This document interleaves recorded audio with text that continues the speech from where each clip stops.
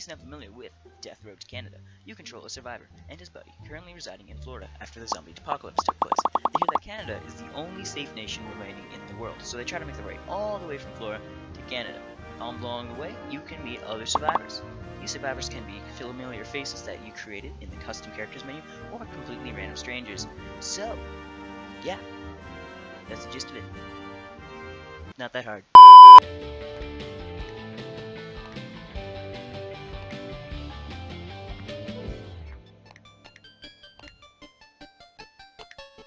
Alright, here we go!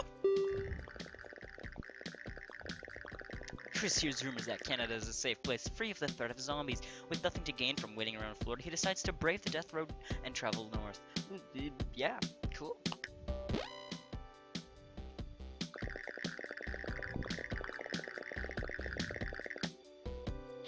Go to your Walmart. Here we go.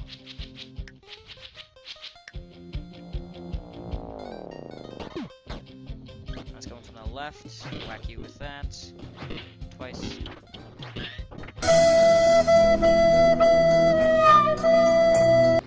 Oh, that already broke. Are you salting my SpaghettiOs?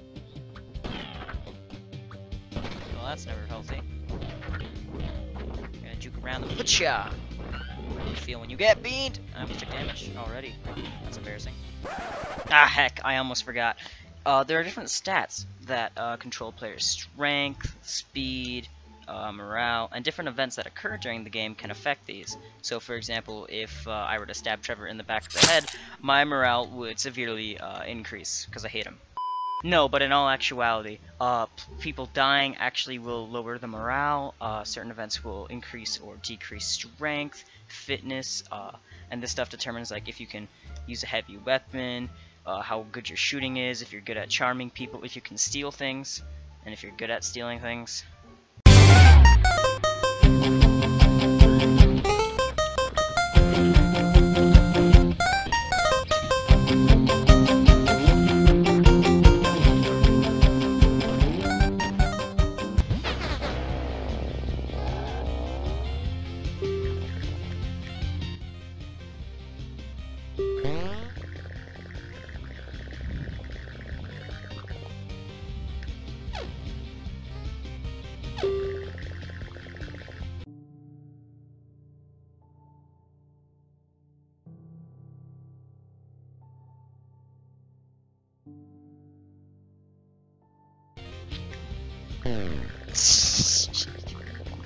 Oh, I'm such an asshole. Group spots an infested city from the road. Scouting it from afar, the group has to decide whether to fight under the noon sun for supplies. I think we should. Athletic store infested stronghold. Let's do it!